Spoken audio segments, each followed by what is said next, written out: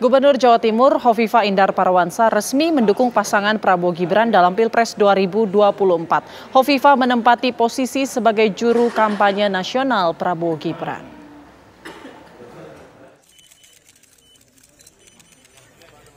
Teka-teki ke mana Gubernur Jawa Timur Kofifah Indar Parawansa memberikan dukungannya dalam Pilpres kali ini akhirnya terjawab.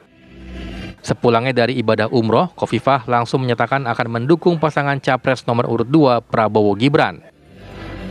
Kofifah mengatakan telah menghubungi Sekretaris TKN Nusron Wahid untuk bergabung dalam kepengurusan tim kampanye nasional Prabowo Gibran sebagai juru kampanye nasional. Insya Allah, insya Allah eh, sesuai janji saya bahwa Januari awal saya akan umroh, sepulang umroh saya akan menyampaikan posisi dukungan saya dan saya menyampaikan bahwa saya mendukung paslon nomor 2 dan saya siap menjadi Jerkamnas saya siap masuk TKN apa yang menjadi regulasi saya akan mengikuti. Jadi kalau kita turun kayak Pak Wakub ini kan cuti. Nah yeah. saya juga akan mengikuti sesuai dengan SOP yang ada.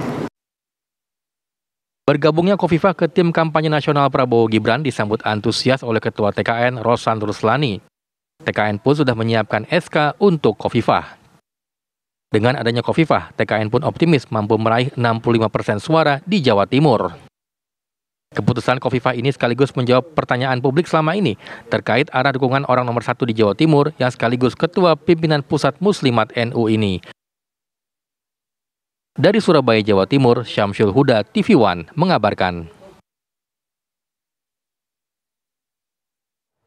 Sementara itu, Sekretaris Tim Kampanye Nasional Nusron Wahid membenarkan bergabungnya Hovifa Indar Parawansa ke dalam Tim Kampanye Nasional Prabowo Gibran. Kehadiran Hovifa dinilai dapat menjadi pendulang suara bagi Prabowo Gibran di Jawa Timur sehingga bisa menambal kekurangan suara di daerah lain.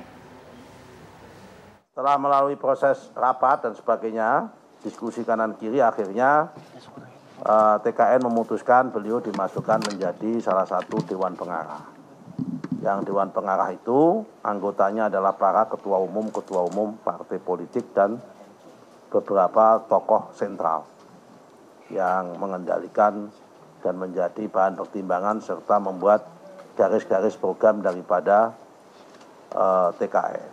SK-nya sudah dibuat, namun SK-nya mungkin akan efektif mulai tanggal 21 Januari jadi pas debat pertama mungkin beliau sudah berani tampil uh, pas debat keempat nanti.